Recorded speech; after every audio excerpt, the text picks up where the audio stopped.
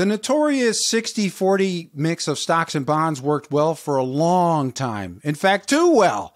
And this year's sharp decline has upset a lot of 60 40 apple carts and caused more investors and advisors to look for greater diversification beyond stocks and bonds. And managed futures have certainly been the beneficiary of that trend. Today's ETF Battles features a head to head contest between KMLM from KraneShares and DBMF from Dynamic Beta Investments. So, who wins the ETF battle? Find out right after this.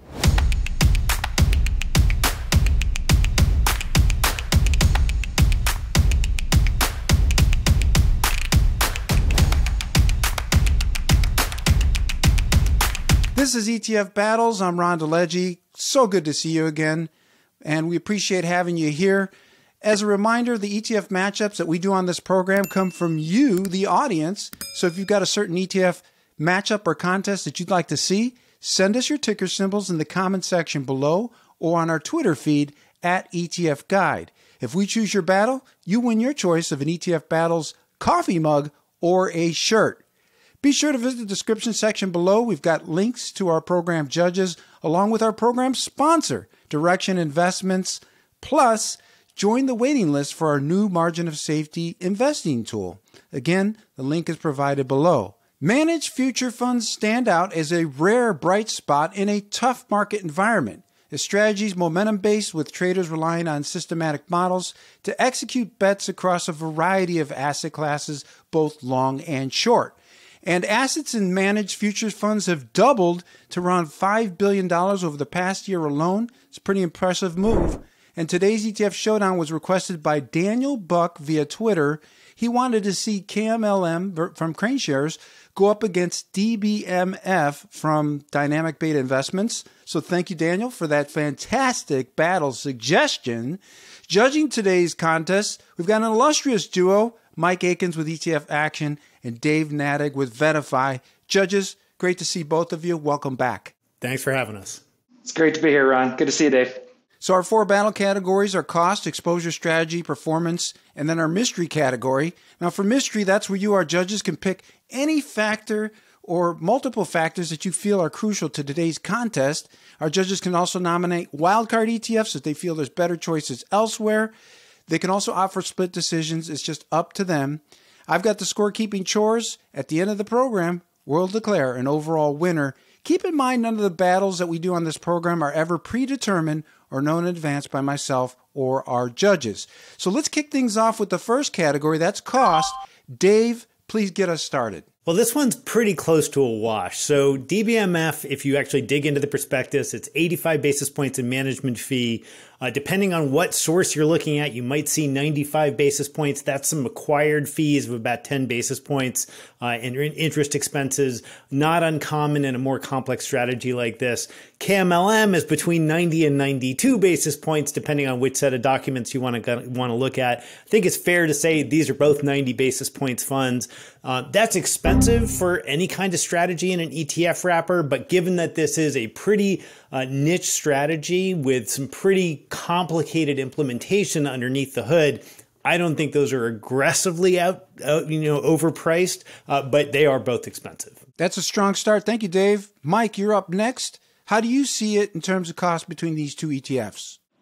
Yeah, I think uh, Dave, you know, walked through all the the relevant factors. So I will just add my two cents in that you know there's there's certain areas of the market where expenses really matter, and there's certain areas that don't. This is one of the areas where it's not nearly as important as other categories. Um, if I have to give a winner, I'm going to give it to DBMF simply because it's a little bit larger and a little more liquidity. But really, it's comes down to which strategy best aligns with your ideology. That takes us to exposure strategy. And Mike, you're still up, so break it down for us. Yeah, so now we get into the fun part, right? Um, you know, you get into managed futures, and you're not going to be able to log onto a website and simply say, you know, what do I own? Um, it's it's a whole, it's a lot more dust off your old due diligence process of understanding the process, understanding the managers, and I think that's really key here. Um, both strategies have, you know, the the standard managed futures systematic approach to it, but to me, there's one big differing factor, and that is active versus passive.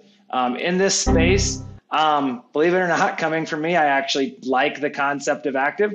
um, you know, which is the DBMF. Um, they have a very defined process. They're tracking um, a, a, number of hedge fund and they're replicating a hedge fund universe, but they have that active overlay to be nimble as the markets change. Um, and I think I'll talk a little bit more about that in our performance, but I like that. I mean, I think when you're looking at managed futures, you're evaluating the manager as much as you're evaluating the process in this case. And I like the ability of the manager to step in and evaluate and be more nimble as they change. Um, that being said, KMLM has a very diverse basket of 11 commodities, um, six bond markets, um, you know, uh, six currency and five bond markets they track, has a systematic process. Um, it's done very well. If you like the transparency of that process, knowing exactly what's going on, you may like um, KMLM better because there is a little bit more understanding if you go through and read that rule book. But for me in this space, I'm giving it to DBMF because of that active overlay and the ability to be a little bit more nimble as macro trends shift in the market. Thank you, Mike. Dave, you're up next. Exposure strategy. How do you see it? Yeah, I mean, Mike hit all the salient points here. I too am a fan of active management for this kind of exposure. Uh, this is the kind of thing that changes on a dime, these types of strategies. What you're in today could literally be the opposite of what you're in a month from now. That's one of the attractions of managed futures is you're going both long and short based on whatever signals the manager has here. Um, I point out that these are very different funds despite the fact they look very similar on the hood. The correlation between these two since the oldest inception is only about 0.45. So while they're both doing great this year and are giving you that sort of counter correlated performance, they have very different approaches here. I'm a fan of the active strategy here as well, so I would give this to DBMF. Next up is performance. And Dave, you're still up, so give us your analysis. Well, let me turn that right upside down, what I just said there, right? So there's a clear winner here in terms of recent performance, and that's KMLM. It's up 42% year to date as we're recording this, about 34, 35% on a trailing 12 month basis. That's quite above what we're seeing in DBMF, which is only up 33% year to date, only up 30% trailing 12 months. Uh, most of that change happened very recently. In the last 90 days or so, KMLM has just been on fire. It's been in the right place at the right right time. All of its longs have worked for it very well. DBMF has been in a little bit more of a holding pattern just very recently. This is to be expected. This is a volatile market with lots going on in every one of these sectors, whether it's bonds or currency. We've seen moves in currency we haven't seen in decades, right? So these are high volatility spaces. You would expect them to be quite different, but on a performance basis, you just got to give it to KMLM here. Mike, you're up next in terms of performance. How do you see it? I think Dave's got like a spy can read into my, my talking points, but he hit everything great, so I'll keep it short. Um, I, I, agree. KMLM on an actual basis is, is your clear winner. Um, you can't argue with that. Um, I do think though you're, you're, buying a fund for looking forward, um, and I think the market cycle can and will change very quickly in the near future. Um, and I think to that extent, um, I like the ability to be able for that this type of strategy to change quicker. So I'm still going to give it to DBMF, but I'm doing it on a forward-looking basis. Um, so big, big star there. Um, fully recognizing how well KMLM has done, and like, like I said, if you really like that transparency, knowing the buckets you're going to have and the exposure you're going to have in the strategy, KMLM is going to be more transparent. But for me, DBMF fits the performance thing there. And I've got to throw in, go over my my shot clock here, but I got to throw in one thing to note. Um, both these strategies and generally, when raising assets and putting a strategy in the marketplace, um, history matters. Um, and you, it's better to have a longer track record that people can get into. Both these strategies have very short time periods. So I went ahead and did a quick analysis this morning, ran some screens in our database on mutual funds because this is managed futures is not new. And some of the largest asset managers in the world have been running managed futures for um, decades. And if you go back and look at some of the largest managed futures, talking like names like Goldman Sachs, PIMCO, AQR, um, just note that managed futures is no different than value or momentum in the fact that things go in and out of favor. And if you look at like a five-year time period from like December, you know, 2014 to 2019, the biggest managed futures mutual funds were basically flat or lost money. Um, so you know, just keep in mind, and I'll get to a little bit in my mystery but the short track record is going to look amazing. But when evaluating the strategy, maybe go look at some mutual funds, some managers you trust with good reputations, and note that while a good managed future fund is never going to have crazy drawdowns and it's going to have um, you know good correlation, um, negative correlation to the broader bond and equity markets. Um, both of these hit those points so far in their early history, but just know that this is an anomaly. They they launched going into a ideal time period for this type of strategy, and keep it in mind when you're doing your analysis. Our judges are bringing it, and uh, I'm enjoying the analysis. I don't know about you. So that's going to take us next to our mystery battle category. This is where our judges can pick a certain factor or multiple factors to make their arguments. So, Mike, you're up. What is your mystery battle category, and which of these two ETFs stands out? All right. So for this mystery battery category, I'm going to go back to portfolio construction, and I'm going to dust off one of my Karate Kid lessons from Mr. Miyagi. I'm going to talk a little bit about strategic versus tactical allocation. Um, are you using managed futures strategically or are you doing it tactically? I would argue that this is a strategic allocation in a portfolio if you believe in it. Um, if you like tactical, then you could have bought the dollar or commodities, which these strategies have been allocating to all year, and you could have done that tactically for half the cost, much more transparent, and made that decision yourself. So moving to strategic, you, you get down to the old Mr. Miyagi lesson of, you know, if if you're a grape and you walk the middle of the road, you know, oh, so if you walk right side of the road, great. If you walk left side of the road, great. If you walk middle of the road, sooner or later squish just like grape. Same thing. If you're going to invest in managed futures, invest in them. If you do managed futures, so so, sooner or later squish just like grape. And I think that's a really important thing when you're thinking about this strategy is what is my strategic allocation and believe in your manager, do your due diligence, stay to the process because right now, those people that have had that allocation are reaping the benefits. But a lot of people, and you can see it in the flows in this category, gave up on it in the 10 year bull, bull run prior to what we're seeing in this current market environment. Dave, you're up next. What is your mystery battle category and which of these two ETFs wins it? So I'm going to go with something somewhat similar to what Mike was saying. I agree with everything he said about how you should be thinking about managed futures. It should be a small but spicy part of your strategic allocation. And because of that, I think really being fully invested in something is important. I'm going to give this to DBMF, and my mystery category is concentration. I like the fact that DBMF only holds 8 to 12 positions. It doesn't go into 25 different things that always has to have an opinion on. KMLM following an index is always going to have a broader basket that's part of its mandate. To me, that waters down the point of having this managed futures uh, exposure in the first place, which is to really give you something that's zigging when the market's zagging. So I'm giving this to DBMF on conviction, really. And just to confirm, Mike, uh, for mystery category, did you choose DBMF or, or the other one?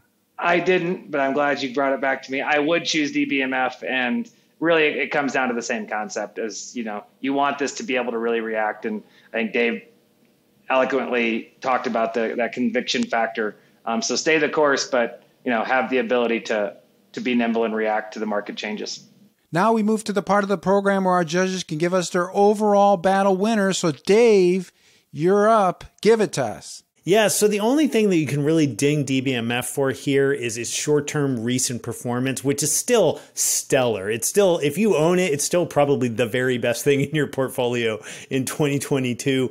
Uh, so I give this to DBMF with a little bit of an asterisk on recent performance. Otherwise, it's taking every category for me. Mike, your final chance to weigh in with your overall winner. Yeah, my, my winner is DBMF as well um, for a lot of the same reasons, um, everything we, we talked about in the, in the process. Um, you know, I want to throw one star in there. I meant to talk about underperformance, um, and that is, you know, one of the things that you do need to know. Like, it does come down to appetite, right? What fits your ideology, and because of DBMF's um, conviction and mind your leverage, there's always implied leverage in these things. You can get sharper movements um, up or down, so you may have a bigger drawdown than you would expect in this category. I think that's part of owning this category, but it's I think it's a good important star to note that with the diversification of KLML, um, KMLM, you might have a little bit less of the violent moves, um, though the violent moves up that you've seen recently tell you you can have what goes up must come down. So it's just going to be that way across the board. But my overall winner, DBMF, and I've actually really enjoyed this. Um, did some homework on these ETFs that I've been wanting to do. So I'm glad your listener picked this this category. Well, our judges have weighed in, and according to my battle scorecard, The winner of today's Managed Futures Showdown is DBMF. And uh, this particular ETF, our, our, judges agreed on for most categories. Some great points raised by each of them. Uh, of course, Dave mentioning that he likes the concentration of DBMF, showing conviction. Our judges pointed out that, listen, performance history in this particular ETF category is limited. Mike mentioning, hey, if you want to look at it maybe a longer term track record, take a look at the mutual fund industry and some of the funds following this this track record that kind of give you an idea of how how it's how it's performed as a group, and uh, it's just started to come around. It's taken a while, but if you're going to invest in this area, you've got to be patient. You're looking for negative correlations to equity and bonds, and uh, that's what these strategies are all about. And of course, Mike finally pointing out this is a strategic allocation. And uh, both of our judges did an excellent job. And this is one of those ETF categories that sometimes is confusing, it's cloudy. And uh, again, we're glad that uh, uh, Daniel, you were able to bring this particular battle to our attention. That's what we're here for. Thank you again, Mike and Dave, for your thoughtful analysis on today's Managed Futures Showdown. Keep up the good work. Thanks, Ron. Enjoyed it. Thanks for having us. Visit the description section below. We've got research links to our judges, and while you're there, check out the link to our program sponsor, Direxion Investments. Which ETF battles would you like to see in the next episode? Post your ETF ticker symbols in our YouTube comment section below or on our Twitter feed at ETF Guide. I'm Ron DeLegge. Thanks for watching. We'll see you next time.